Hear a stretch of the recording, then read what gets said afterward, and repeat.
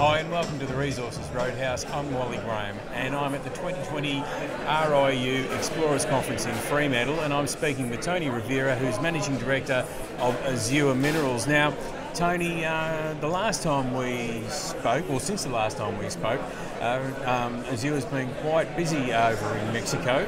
Uh, you're kicked off some trial mining and we'll find out how that's going at Oposura.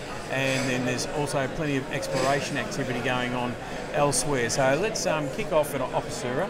Now, yep. of course, I'm saying that incorrectly. No, actually, you're saying it perfectly, Wally. Bingo. All right, so there's uh, you've had some trial mining happening there yes. at the project. How's it, how's everything gone there? Well, things are coming along quite well at the moment. We, we did a uh, two-month mining trial there where we mined 6,000 tonnes of about 25% combined zinc and lead. Uh, this is high-grade massive sulphide mineralisation at surface.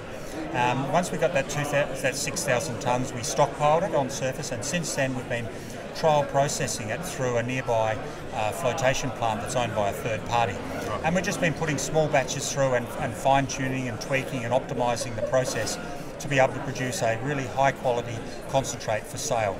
Um, and, and, things have been going very well recently, and it looks like we will have some products for sale sometime in the next month or so. Oh, good. So everything's basically behaving itself, um, results coming through within expectation. Absolutely, it's uh, certainly the mining was above expectations. We right, got yeah. we got uh, probably 50% more tonnes at, at a 50% higher grade than what we were expecting and uh, the processing it, it, floats into a bulk zinc and lead concentrate. It floats like a dream, and uh, we're getting a lot of interest uh, from the international metals trading companies to buy that product. Right. Oh, that's good to know.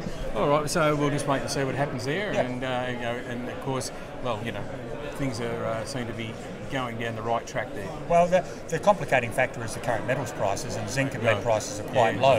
Um, so that we need to factor that into account yeah. as well. But the fact that we can actually make a good product and people are wanting to buy the product is very positive yeah. for, for the project. Well, I mean, you're, you're really not Robinson Crusoe on that sort of uh, scale, are you? Everybody's in that same boat. Yeah, not that Robinson Crusoe was in a boat, but anyway.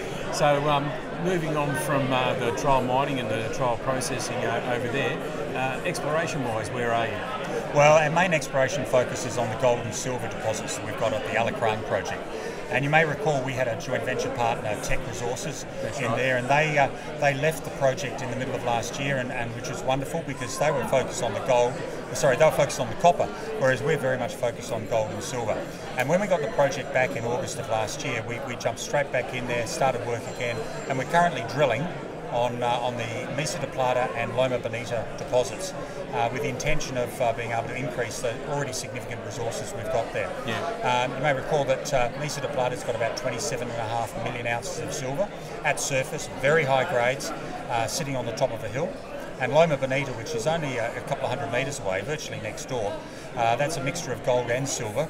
Um, and we're currently drilling in that area at the moment, and we put out some great results last week, and we hopefully will have some more coming soon. Oh, terrific! I, I mean, yeah. So the like the the, J, the JV with Teck at the time it was uh, it was quite beneficial because there was a lot of money went into the ground through that, yes. and so and as you were just saying, all the results you've got, the database that you've got there, yep. and what's in the ground already.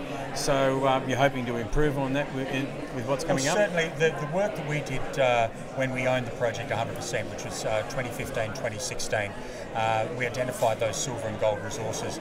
And just as a bit of background, Teck exercised a clawback right to come in. They spent two and a half years drilling for copper didn't find what they were looking for, so they pulled out. We got the project back, and we can now focus on that silver and the gold and the opportunities to, to identify and define very large silver and gold mineralisation sitting at surface on the top of the hills in material that treats really well, it processes very well through all of our metallurgical test work. This is a is a, a really good looking silver and gold project.